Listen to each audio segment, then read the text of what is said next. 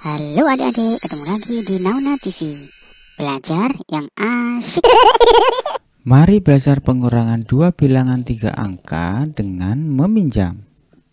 Oh, terima kasih kak. Sebelum nonton, jangan lupa klik like, subscribe, dan bunyikan lonceng agar tidak ketinggalan pelajaran-pelajaran berikutnya. Contohnya kita punya 361 dikurangi dengan 238 1 dikurangi dengan 8 tidak bisa Maka meminjam menjadi 11 dan 6 akan menjadi 5 Jadi kemudian 11 dikurangi dengan 8 sama dengan 3 5 dikurangi dengan 3 sama dengan 2 Dan 3 dikurangi dengan 2 sama dengan 1 jadi jawabannya adalah 123. Sekarang kita coba selesaikan tiga soal berikut. Kita mulai dari nomor 1. 252 dikurangi dengan 236. Kita tulis di sini 252 dikurangi dengan 236. Ingat di sini 2 dikurangi dengan 6 tidak bisa, maka meminjam dari 5 sini. Jadi kita tulis menjadi 12. Di sini 5 sudah dipinjam 1 akan menjadi 4 dan 2 akan tetap sama. Kemudian yang bawah tetap yaitu 236. Nah, sekarang 12 dikurangi dengan 6, kita gunakan garis bilangan akar muda kita mulai dari 12 mundur 6 langkah. 1 2 3 4 5 6. Kita berhenti di angka 6 sehingga 12 dikurangi dengan 6 sama dengan 6. 4 dikurangi dengan 3 sama dengan 1. 2 dikurangi 2 sama dengan 0. Jadi jawabannya adalah 16. Soal yang berikutnya nomor 2. 428 dikurangi dengan 285. Kita tulis di sini 428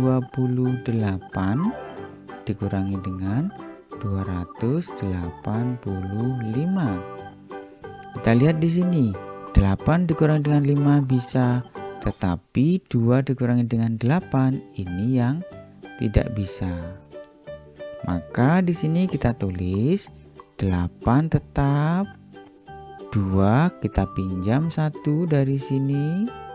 Maka kita tulis menjadi 12 dan 4 akan menjadi 3 kita tulis bawahnya 285 tetap.